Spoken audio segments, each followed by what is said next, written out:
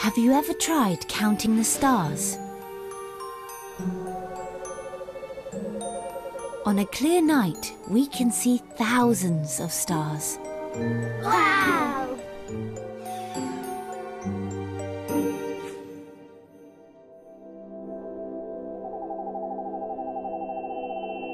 But did you know that our sun is also a star?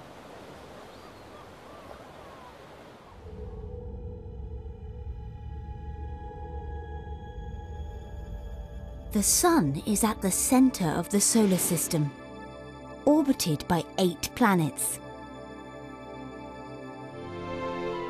Many of these stars are at the center of their own solar system.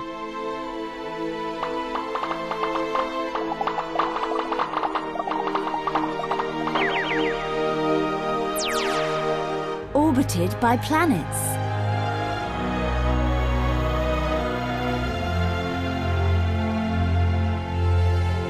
These other solar systems are much too far away to visit. But by using machines called telescopes, we can look at these solar systems and learn more about them. So the next time you look up at the stars, you might wonder if they are all part of solar systems. They might even be orbited by planets that look like Earth.